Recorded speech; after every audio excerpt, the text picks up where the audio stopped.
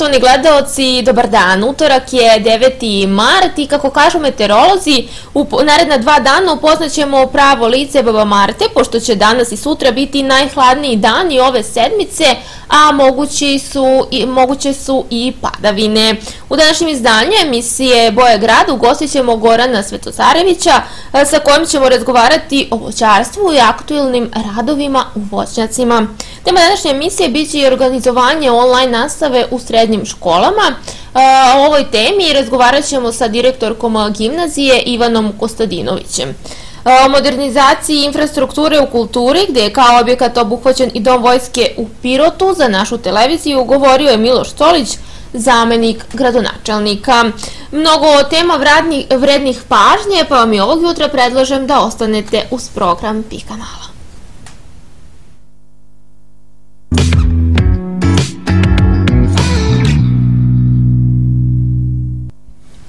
Smena sunčanih dana sa temperaturom ispod 0 stepeni Celzijovih karakterišu mesec mart. Ove meseci kada voćari koriste povoljne vremenske prilike za prve radove u svojim zasadima. A šta je ono što je trenutno aktuelno, pitaćemo naše gosta Gorana Svetozarevića, savjetodavca za voćarstvo i vinogradarstvo pri Poljoprivrednoj savjetodavnoj stručnoj službi Pirot. Dobar dan i dobrodošli. Dobar dan vama. E, lepo vreme, većina voćara tokom februara iskoristilo je za rezidbu voća. Šta nakon ove mere? Pa jeste, mart mesec ovaj, u proleđu, znači tu ima dosta radova u voćnjaku, ovaj, samo i da napomenem da bi po pravilu ta voćarska godina trebala da krene u jesen, odnosno nakon završene berbe, što u dosta slučajeva čak i nije taj slučaj, odnosno ima dosta radova koji mogu da se obavljaju nakon berbe znači, i, i nakon uh, završetka vegetacije, znači tu pre svega mislim znači, i na rezidbu, na džubrinje, na jedan deo zaštite u voćnjaku, tako da i naravno kada vremenski uslovi dozvoljavaju, znači kada nema padavina, kada ovaj, uh, vremenske prilike omogućavaju te radove, ovaj, ko to ne završi u jesen ili nije počeo u jesen, znači postoji ta mogućnost i tokom zime i opet napominjem, znači kada vremenske prilike dozvoljavaju. Ovaj, obzirom da je mart mesec i obično negde od druge polovine februara meseca kreću ti, da kažem, značajniji radovi, ko nije počeo vreme da počne, ko, nije, ko je nije završio, a počeo jesenas i tokom zime, znači treba da nastavi. Ovaj, što se tiče sadnje voćaka, tokom marta meseca ide ta prolećna sadnja, Da podsjetim da je i sadnja voćaka, znači da li se zasniva novi voćnjak, da li se vrši presađivanje, dosađivanje nekog starijeg voćnjaka i ta sadnja je isto moguća od e, početka jeseni, odnosno od novembra meseca i ide do kraja marta meseca. Ovaj, što se tiče proletnje sadnje, otprilike, znači to je taj negde početak marta i ono što mi kao poljoprivredna stručna savjetodavna služba, odnosno mi kao stručnjaci za voćarstvo, savetujemo da sve voćare, sve poljoprivredne proizvođače koje, koji misle da se bave ovom uh, načinom proizvodnje, ovom vidom proizvodnje, da uh, te zasade svoje, da, da, da, taj plan, da to planiraju otprilike čak najmanje godinu dana napred, pa možda čak i više, jer je to ozbiljan zahvat. Ovaj, E, što se tiče e, toga, mi isto savjetujemo da se pre zasnivanja zaseda, znači još tokom planiranja, znači to bi trebalo biti u prethodnoj godini, da se obavi agrohemijska analiza, to je na ovaj, e, na makroelemente, to je azot, fosfor i kalijum, odnosno krečnjak, da se utvrdi kiselog zemljišta i onda tek da ovaj, uđu u taj vid proizvodnje.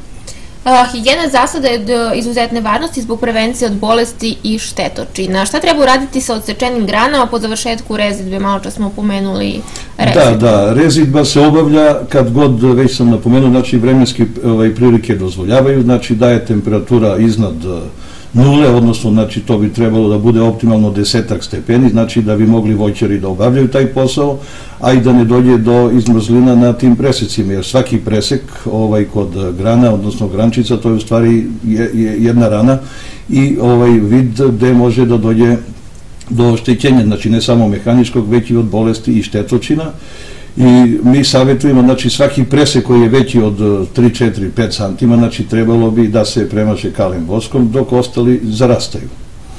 I ono što je najbitnije, znači ranije su nekada preporučivali spaljivanje, znači to je zabranjeno, znači zakonom je ovaj, zabranjeno spaljivanje na otvorenom, ali ono što mi možemo da savjetujemo, znači da se ovaj, sve ove grane, grančice, znači da treba da se iznesu iz zasada, znači da nisu prisutni u zasadu, jer je u stvari to na neki način ovaj, buduća infekcija.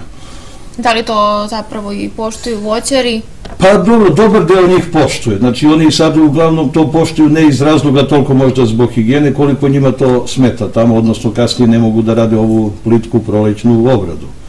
E sada šta bih ja isto savjetovao u martu mesecu, to je krećenje stavala, odnosno to se podrazumeva, znači krećenje debla i ramenih grana kod votnjaka i znači sem e, te neke estetske, znači, znači to je na neki način jeste estetska mera, Ovaj, međutim, e, jako je bitno naročito za, ne znam, tu znači za kajsiju, znači za sve sorte kajsije, tu se odnosi na rane breskve, na rane šljive, možda neke rane trešnje, jer kreć, okrećena stabla, znači po pravilu bi to trebalo da bude kao evo što je današnji dan, znači dan je sunčan, znači nema padavina, ovaj, to se brzo osuši, odnosno ostane bela boja nakon uh, tog samog krećenja i to ima za cilj prvenstveno da smanji temperaturna kolebanja, odnosno mart mesec je kao i mart ovaj, čudljiv, u toku dana budu i 20 stepeni, znači, tako, znači ono što liči na proleće, što bi mi rekli, međutim tokom noći temperature se spuste, odnosno rano jutro bude i minus 5 i minus 7, 8 i znači iz tog razloga kada bi se ta temperaturna kolebanja umanjila, te vojtne kulture koje sam napomenuo, koje imaju to nestabilno zimsko umirovanje, znači njih ne bi moglo to lepo vreme baš tako da izmami. I tako da ima šanse znači da se malo kasnije krenu sa vegetacijom i jednostavno da ne dođe do oštećenja, odnosno da ta oštećenja budu u nekoj manjoj meri. E, čini se da su poslednjih godina povećane površine pod voćem. Koje su to najinteresantnije vrste za naš kraj? Pa dobro, jeste, to je tačno unazad deseta godina, možda i 15 otprilike, znači interesanje za voćarstvo i tekako ima u Pirovskom kraju.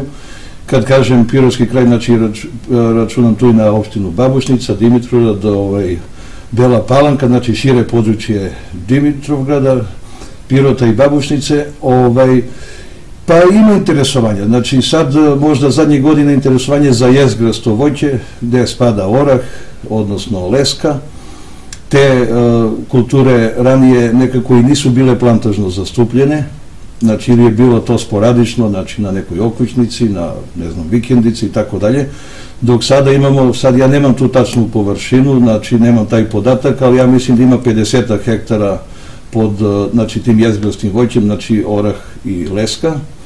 Tu se proizvodnjači pre svega odlučuju voćari, vjerovatno iz razloga što kad to prorodi, znači i ta berba možda se pomeri 7 do 10 dana, znači nije kao jagodičsto voće gde se mora ber svaki dan, pa i nekad ovaj, maksimalno svaki drugi.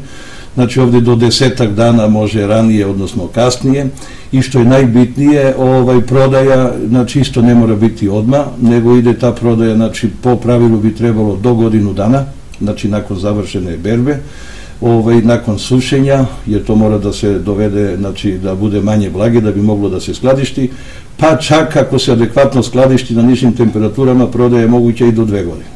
Koja voća? Verovatno je taj razlog što se proizvodjači tu, ovaj, što ima dosta interesovanja i podižu takve zasade.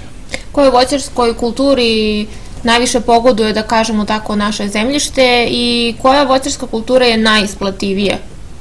Pa dobro, to je sad relativno pitanje šta je najisplatljivije. Znači, gledajući, opet napominjem, šire područje Pirota, tu a, dosta voćnih kultura. Znači, kad kažem voćne kulture, mislim znači, na voćne kulture koje su prilagođene za umerenu kontinentalnu klimu, kao što je ova naša ovde. Međutim, ne mogu sve voćne kulture u svim reonima. Ovaj, znači na većim nadmorskim visinama uglavnom kruška ne ide, odnosno ne, znači lešnik bi mogao da ide jer je to na neki način poludivljali, da kažem, polušumska voćna kultura.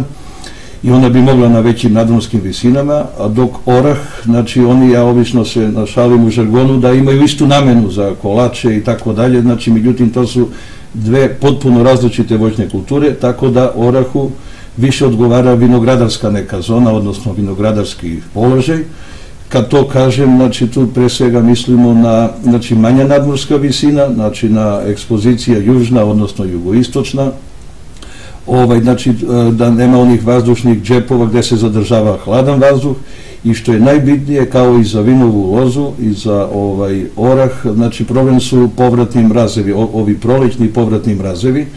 A to je kao što smo malo pre napomenuli, znači kad bude ovako lepo vreme tokom marta, aprila, pa posle izmami to lepo voće da krene i onda dođu povratni mrazevi i naprave taj problem, tako da za orah važi i vinogradarski položaj. Ovaj, da napomenem, znači da imamo isto i voćne kulture poput trešnje, znači ona po mom saznanju i ovaj ranije nije bila zastupljena, primjera radi u plantažnoj proizvodnji, znači isto to je važilo da ima neko jednu, dve trešnje, opet to je u vinogradu, ne znam, okvićnica, vikendica, dok sada imamo poprilične plantaže ovaj, trešnje, to naročito prednjači Bela Palanka, tamo imamo ovaj, zasade možda do 100 hektara pod trešnjom, znači plantažna proizvodnja, sad tamo imamo dva vida te proizvodnje, imamo ovaj, na srednje bujnoj podlozi, to znači, znači to je negde oko 400-500 stabala po hektaru i na slavobojnoj podlozi, gde ide negde do 1000 pa 1000 i po čak po hektaru, znači to je visoko intenzivna proizvodnja. Da li naši proizvođači poštuju te zahteve i da li se zapravo pre sadnje odluče da ispitaju kvalitet zemljišta na kome planiraju sadnje? Pa u svakom slučaju proizvođači koji, da kažem ozbiljni proizvođači koji planiraju da podižu zasade na većim površinama, oni, oni moraju tako da rade, odnosno moraju da naprave dobar plan, ovaj, da, da, jer i u okviru voćne vrste postoje dosta sorata, znači ima koje su ovde prilagođene odavno, ima koje su nove introdukovane, tako da tu trebaju malo te neke konsultacije da obave i sa poljoprivrednim stručnjacima, a i opet zavisno od podljeva, podneblja, zavisno od načina gajanja. Što se tiče sortimenta isto, znači kod u voćarstvu postoje neke sorte, da kažem, koje su se koriste kao stone sorte, znači za svežu upotrebu, postoje sorte za ovaj preradu, postoje neke, da kažem, mešovite ili univerzalne da mogu tako i tako, tako da proizvođači oni moraju znati zašto proizvode. Znači, da li ide, da li je za industriju, odnosno otkupljivače ili hladnjačare, da li znači za lokalno tržište, e, međutim veliki proizvođači uglavnom znači oni sem lokalnog planiraju i znači veće tržište odnosno Republike Srbije pa čak i izvoz. I oni imaju oni to moraju raditi sve po školskom primjeru. Znači počev od e, neposrednog rigolovanja, znači odnosno pripremanja zemljišta za sadnju voćeka, znači to bi trebalo da bude, ja opet kažem, najmanje godinu dana, ali u praksi bi trebalo bude 3 do 5 godina. Naročito ukoliko se krči neki stari voćnjak, ukoliko se krči neki stari vinograd ili ne znam nekaj šumska kultura, znači 3 do 5 godina minimum bi to trebalo da se razorava, da se priprema, da bi mogo da se ovaj posle napravi zasad. Kako izabrati dobru i kvalitetnu sadnicu i da li se zapravo može ona prepoznati? Pa dobro, može da se prepozna, znači sada, znači što se tiče i sadnog materijala, ranije nekada, sad pričam pre 20-30 godina, je važilo pravilo, znači da se voćne kulture sada isključivo tokom marta meseca, Razlog tome je verovatno bilo zato što ovde i nije bilo prisutno, ovaj, nije bilo prisutno proizvođača sadnog materijala koji prodaju voćke u jesen, odnosno najčešće je to bilo Kruševac, Trstenik i oni su imali te neke ugovorene proizvodnje, znači sada pričam to za unazad pre 20-30 godina i oni taj svoj izvoz, znači to prilikom vađenja, odnosno krajem oktobra, tokom novembra to pripremaju za izvoz, znači oni ne idu na lokalna tržišta i onda pregradi ih zima, odnosno zimski period i onda negde posle od druge polovine februara, znači idu ovaj, po lokalnim pijacima i onda se prodaje. E sada tu je bile, bila je možda i neka dilema ili zabluda, odnosno da voćari, proizvođači koji nameravaju da sade, ovaj, da oni su bili u, u krivu, što bi rekli da voćka ne može da se sadi u jesen, da ne bi izmrzla to kon zime, što naravno to nije tačno. Znači, najosjetljiviji organ kod voćne kulture jeste korenov sistem. Znači, korenov sistem je osjetljiv kako na niske temperature, znači već ispod nule znači može da dođe do problema i nekog manjeg ili većeg oštećenja, opet zavisno od voćne kulture i osetljiv je na sunce, odnosno na su vazduh. Tako da, znači, čim je korenov sistem ovaj, u zemljištu, čim je to posađeno, znači, nadzemni deo je i tekako prilagođen. E sada možda ima malo kod ovaj, mlad zasada oraha, znači oni su malo specifični, možda tu neke sorte kajsije i breskve, znači ove ranije, i naročito ukoliko je sadni materijal u prethodnoj godini, odnosno tokom proizvodnje tamo u rastilu gde se proizvodi, ako je malo više navodnjavan tokom, ne znam, avgusta, septembra, a najčešće to rasadničari uh, ovaj, rade iz razloga da bi sadnice bile veće i onda naročito ukoliko se malo više pođubri azotnim đubrivima i takve sadnice jednostavno nisu sazrele do kraja i imaju malo više vode u sebi i onda oni one mogu da izmrznu tokom zime. Znači to važi za oreh, za rane sorte breskve, kajsija, to otprilike su te voćne kulture. Država, ali i lokalna samuprava raznoraznim subvencijama pomažu u podizanje višegodišnjih zasada. E, koliko zapravo to naši proizvođači koriste? Pa uglavnom ono prema mom saznanju, obzirom da sam i u takvoj službi, službi koja i tekako pripomaže poljoprivrednim proizvođačima za sve vidove poljoprivredne proizvodnje, konkretno ja iz oblasti voćarstva i vinogradarstva, ostali kolege za ovaj druge vidove, ovaj mogu da kažem čak i da pohvalim da grad Pirot je jedan od redkih gradova koji je u samom vrhu koji izdaje zna, iz, ovaj, značajna sredstva za poljoprivrednu proizvodnju u Pirotu.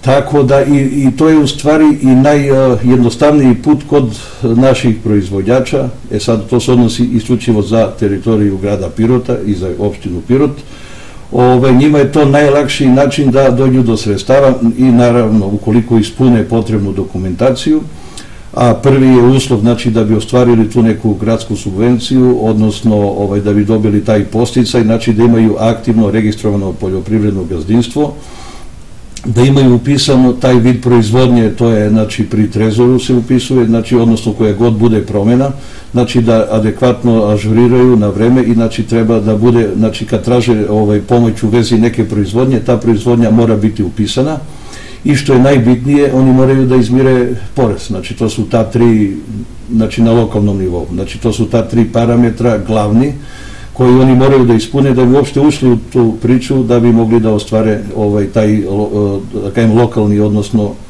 gradski podsticaj. E, prema mom saznanju u ovoj godini je u planu da se raspiše konkurs, znači izdvajanja su grada Pirota u planu da budu 56 miliona, s tim da je ove godine po prvi put jedna nova mera, a to je za razvoj ruralnog turizma, mislim da je to oko 3 miliona dinara, tako da proizvođači, odnosno ovaj, poljoprivredna gazdinstva koja se bave turizmom, to je vezano za reon Stare planine, mogu da iskoriste i ta sredstva.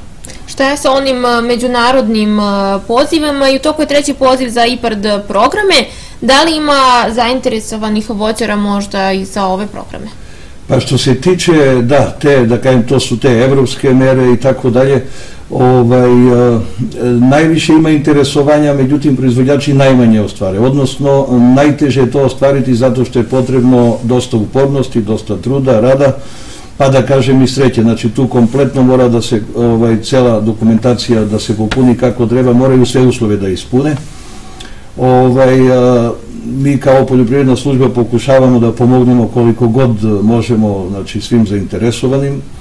Ovaj, sada treba da se raspiše javni poziv za meru 1, to je negde početkom, za IPART program, znači to je početkom aprila, tačnije 1. aprila, a mera 3 bi trebala da bude početkom maja i mera 7 negde početkom juna meseca. Tako da proizvođači koji nameravaju da ostvare taj vid posticaja, što je i nama cilj, znači kao poljoprivredna savjetovna stručna služba, kao i grad Pirot, kao i Republika, znači da uzmemo malo i od ovih evropskih para, znači treba da prate ove konkurse, da ispune uslove kako treba da bude i da pokušaju da dobiju. A mali broj su dobili, ja mislim da možda par njih da je dobilo.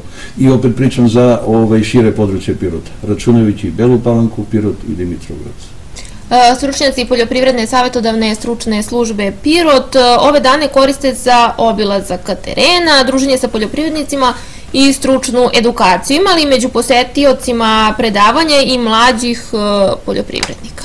Pa ima, mi kao poljoprivredna savjetodavna i stručna služba, mi smo malte ne prisutni na terenu i dostupni svim proizvođačima, ja opet napominjem za sve vidove poljoprivredne proizvodnje, maltene 365 dana svaki radni dan, ovaj, kogod dođe kod nas u službu da se informiše za nešto, uvek ima tamo nekog, i ono što mi savjetujemo, pa bih ja ovog e, momenta isto, znači da telefon ima svako, znači sad možda i zbog covid malo, možda zbog ne znam čega, znači da se ovaj ne prave ta okupljenja, da ne idu autobusima, znači telefonom mogu da se uvek informišu i najbolje da se unapred, znači koju god bilo da proizvodnju zasnivaju, ovaj, koje god im informacija treba bez nekog konkursa telefonski da se informišu, a i naravno kogod dođe kod nas u službi, uvek bit će uslužen, ovaj, mi pokušavamo da ovaj, dopremo do svakog proizvodjača koji ima bilo koji vid proizvodnje i da mu pomognemo.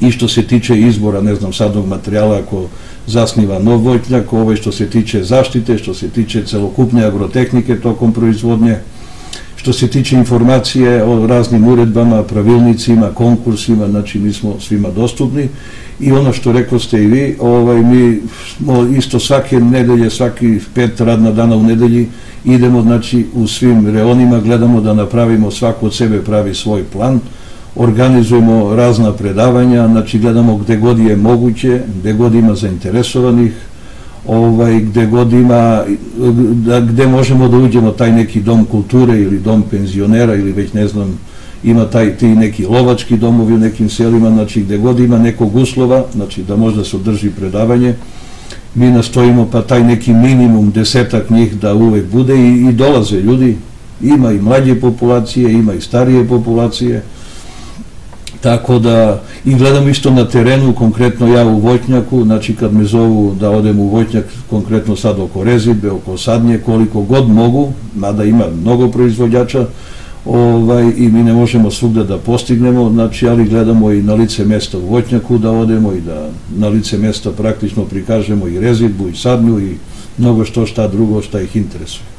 Dakle, možemo da uputimo jedan apel našim gledalcima da ne treba da se libe, da vas e, pozovu kad god im je vaša pomoć potrebna, vi ćete već prvom prilikom otići da. i na teren. Pa upravo tako, jer to što je najbitnije za njih, njih to ne košta. Kogod ima telefon i oni ako neko i nema telefon, ima neki komšija i tako dalje, znači uvek mogu da pitaju i ovaj, moje savet što najčešće i nije tako gledajući u Pirotu jer obično naprave neki voćnjak, zastoju nešto ili orežu ili ne znam po džubre voćnjak nekim neadekvatnim džubrivom i onda zovu da pitaju šta su trebali da uradi. Znači savet je da to bude znači, pre bilo koje operacije, znači imaju našu službu, poljoprivredna savjetodavna i stručna služba Pirot, to je regionalna služba, ovaj, ide preko ministarstva poljoprivrede I ono, ono isto što mogu da kažem, grad Pirot, odnosno lokalna samouprava i Ministarstvo poljoprivrede imaju izuzetno dobru saradnju, što je jako bitno i značajno za sve poljoprivredne proizvođače.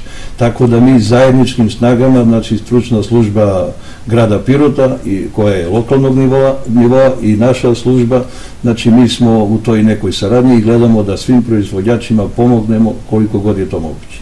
Nadamo se da će biti sve više proizvođača, naročito onih e, mlađih. Ja vam se ovom prilikom zahvaljam na gostovanju. Pa ima, ima interesovanja, ima i nadamo se i mi. Hvala vam na gostovanju.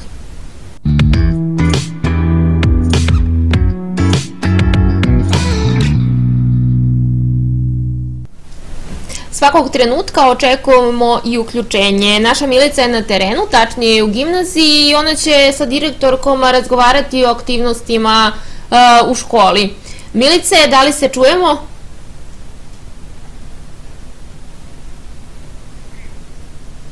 Tako je, Katarina, čujemo se. Dobar dan tebi, dobar dan i našim gledalcima. Evo nas u Pirotskoj gimnaziji. Ove nedelje odlukom Republičkog kriznog štaba srednjoškolci su na online nastavi. Naša sagovornica, direktorka Pirotske gimnazije Ivana Kostadinović, za početak će nam reći kako za sada protiče online nastavu, u stvari kako protiče školska godina. Dobro jutro vama i vašim gledalcima i slušalcima. Eto, odlukom kriznog štaba koju moramo da poštujemo i slušamo i odlukom i upusima ovaj, Ministarstva prosvete, nauke i tehnološkog razvoja od juče sve srednje škole su na online nastavi. Naša škola takođe poštoje i radi po nastavnoj platformi Teams za koju smo se opredelili još početkom školske godine ove. Trenutno prvi i treći razred je prepodne, drugi, četvrti popodne, ali deca nastavu slušaju i prate od kuće. Što se tiče profesora, profesori koji nemaju tehničkih uslova da u svojoj kući drže online nastavu, dolaze u školu i ovde u praznim učionicama gde smo im obezbedili svu tehniku i opremu, ovaj, drže nastavu sa decom koja su kod kuće. Mogu da kažem da sam zadovoljna i ovaj, izražavam veliko poštovanje i zahvalnost profesorima za sav trud i angažovanje koje ulažu da ta nastava teče onako kako treba. Jedino bih apelovala na učenike da poštuju sugestije i predavanja svojih profesora, da poštuju aktualni raspored časova po kome se odvija nastava i da budu prisutni i da prate nastavu jer to za njihovo dobro. I ovom prilikom apelovala bih i na roditelje jer znate kako kada su u školi profesori odeljenske starešine su zaduženi da prate i da regulišu kako deca slušaju i prate nastavu u učionici, ali kada je online i kada je nastava od kuće, roditelji su naši saradnici da podstreknu decu, da ih opomenu, da ih prosto nateraju da sednu kod kuće uz računar, uz tablet i da prate nastavu. Čeka se odluka kriznog štaba šta će biti od naredne nedelje. U svakom slučaju škola je spremna i za nastavak online nastava, ali i za one kombinovani metod. Tako je, mi smo, ovaj, što se tiče online nastave i nastavne platforme Teams, mi smo to već prošli krajem prvog polugodišta, tu nema problema, uigrani smo što se tiče toga, čekamo odluku kako bude, naravno da nije zgodno i niti je jednostavno, ali moramo da pratimo uputstva i odluke kriznog štaba. Što se tiče uslova u školi za redovan početak, ako se opet krene normalno i pripremamo, naravno svakodnevno se čisti i održava škola, trenutno pomoćno osoblje, videli ste, uređuje školsko dvorište, Dakle, činimo sve da učenicima kada se budu vratili u školske klupe rad e, krene nesmetano.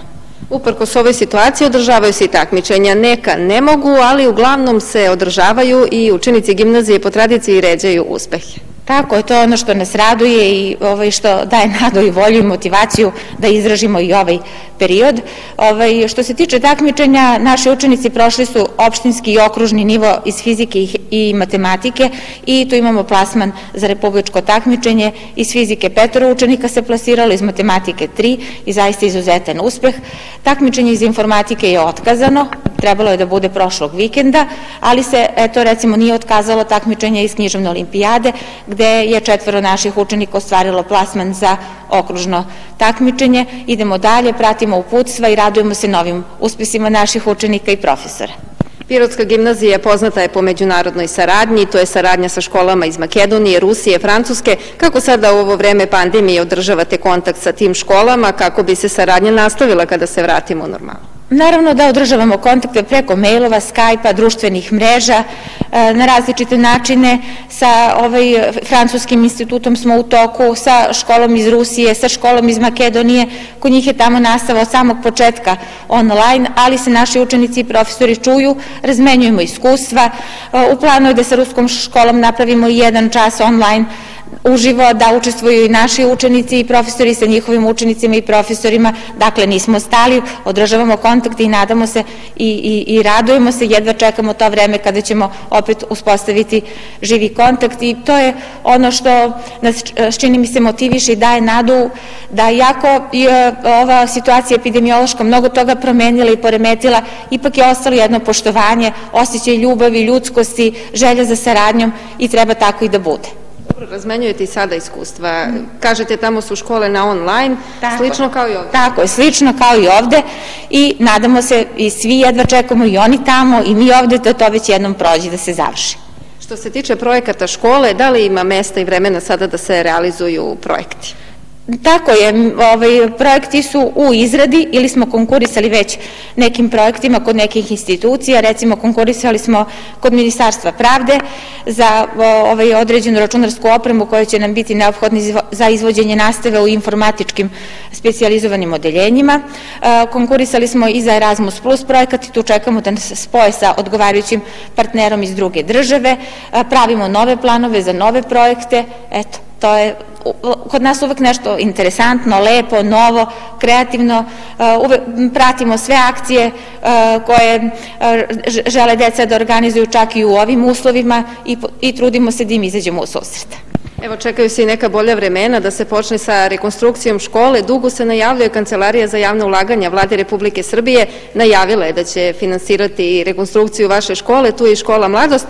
Kada je izvesno i da li će se uskoro početi sa tim projektom? Posljednje informacije koje ja imam, to su sa, sa, sa sastanka grada sa Kancelarijom za javne ulaganja i rečeno je da se na, naravno od rekonstrukcije naše škole i fiskulturne sale u školi Mladost nije odustalo i da će to stići na red, ali da su trenutno prioritet bolnice i domovi zdravlja i nadam se posle naše bolnice da slede gimnazija i naravno škola Mladost, što je takođe veoma bitno.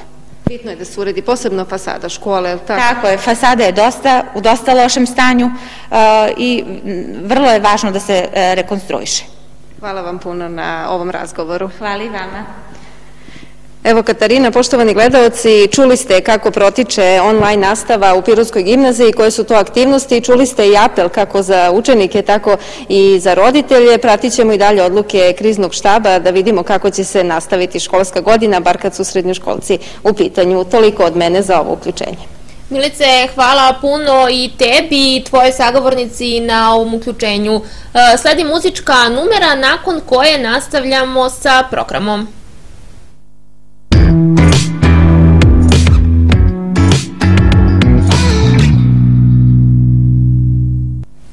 Narodna skupština Republike Srbije usvojila je zakon o potvrđivanju okvirnog sporazuma o zajmu između Srbije i Banke za razvoj Saveta Evrope za projektni zajam infrastruktura u kulturi u iznosu od 20 miliona evra. Sredstva će biti uložena u modernizaciju infrastrukture u kulturi, a među objektima koji su obuhvaćeni projektom je i Dom vojske u Pirotu. Ovog prepodneva za našu televiziju na tu temu govorio je Miloš Colić, zamenik gradonačelnika. Gospodin Coliću, lepe vesti ovih dana stižu u Pirot i naravno za sve građane koji su dugo, da tako kažemo, očekivali rekonstrukciju Doma vojske. Eto, zajmom iz e, evropskih fondova, državnim parama, radit će se rekonstrukcija nekoliko institucija kulture u e, Srbiji, među njima je i naš Dom vojske. Tako je. Banka za razvoj Saveta Evrope odobrila je određeni program Republici Srbije od 30 miliona, gde je učešće Republike Srbije 20 miliona, 10 e, miliona, a Banka za razvoj 20 miliona i u tom projektu, pored nekoliko veoma značajnih, kako ja hoću, volim da kažem, igrača, našao se i Pirot, odnosno naš popularni dom vojske, koji se u projektu zove više funkcionalni kulturni centar, što zaista to, to će biti, međutim on je ovde kod nas popularan kao objekat, odnosno zgrada Doma vojske i mi ga tako ovaj, i zovemo. O čemu se ovaj, tu zapravo radi? Još 2019. godine mi smo imali a, izrađenu projektno-tehničku dokumentaciju, šta više mislim da smo i u budžetu iz, izdvojili neka sredstva za faznu rekonstrukciju, međutim kako su se zaista prioriteti menjali, tako je ta, ta zgrada jednostavno čekala ovaj, ovaj trenutak i prvo što je ono u centru, ovaj, drugo u kakvom je stanju, mi zaista imamo tu više problema, znači od kojih su tri najvidljivija. Prvi problem jeste kanalizacija koja se vraća u, u, u podrumskim prostorijama Doma vojske i to je jedan problem koji mislimo sada da rešimo i jednostavno tako se ovaj, pogodilo da kada mi budemo rekonstruisali ovaj deo trga, mi moramo da uredimo kanalizaciju kako bi ujedno spasli i ove lokale koji su dole ovaj, u, podromu, u podromu kako bi kišnicu uveli u, u kanalizacioni sistem. A, taman ćemo tada rešiti i tu nivelaciju koja je problem ovaj, kod Doma vojske. Dakle, to je prvi problem koji paralelno rešavamo sa trgom, tako i da taj potez tu, znači, u punom pravom smislu reči uređujemo. A, što se tiče drugog problema, to je fasada, ona je najvidljivija koja je oronula, pa pomalo je i rizik za, za prolaznike koji prolaze pored.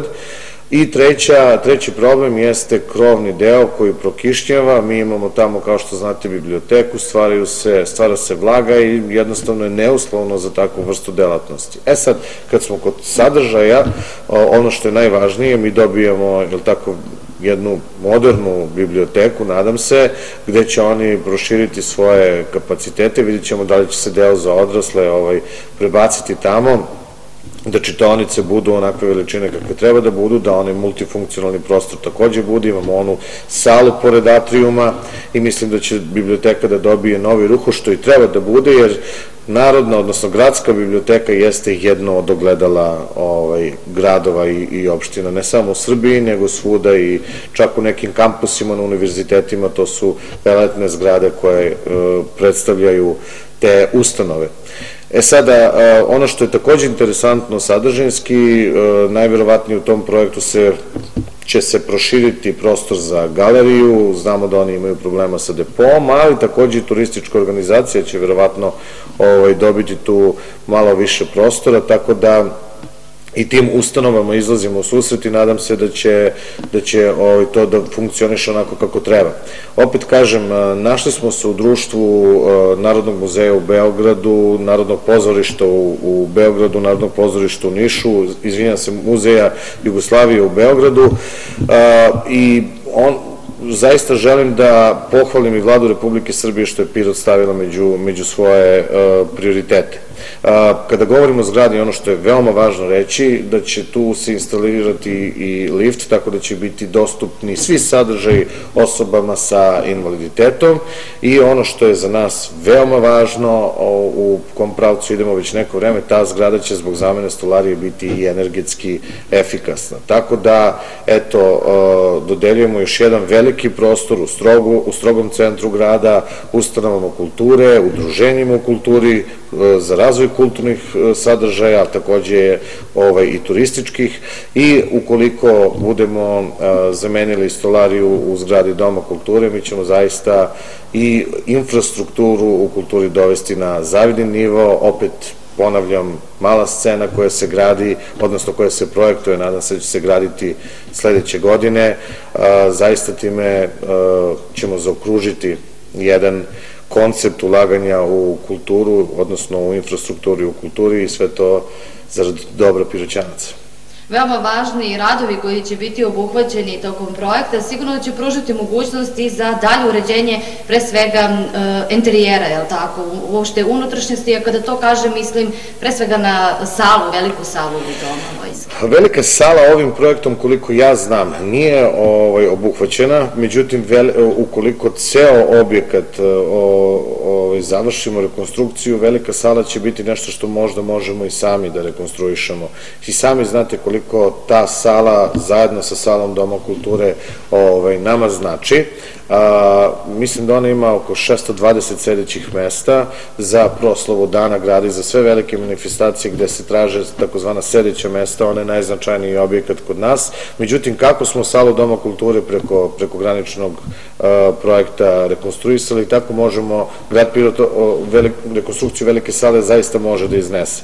Na to dodajem i projektovanje sajamskog prostora u objektu zatvorene pijace u naselju ATP, tako, tamo su ona takozvana stajaća mesta, ali takođe ćemo koristiti taj prostor za, za kulturu, zaista mislim da, da smo na dobrom putu. Što se interijera tiče, e, najproblematičniji deo jeste onaj podrumski deo, gde smo, kada smo razmišljali o idejnom projektu, e, to predvidjeli za eventualno neke aktivnosti e, za mlade ljude ili folklor ili neki mali omladinski kulturni centar, ali opet kažemo o tom potom, važno je da infrastrukturalno prvo sve rešimo ova tri problema koje sam pomenuo, a kasnije programski ćemo da raspodeljujemo prostorije uh, po prioritetima. Ipak mislim da je biblioteka za sada najveći prioritet kao i galerija i uh, te dve stvari su nama u fokusu kada je rekonstrukcija Doma vojske u pitanju.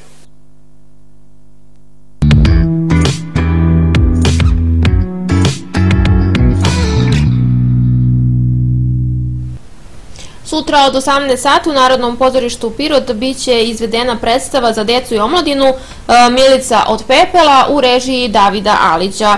Ulaznice po ceni od 250 dinara se mogu kupiti na blagajni pozorišta.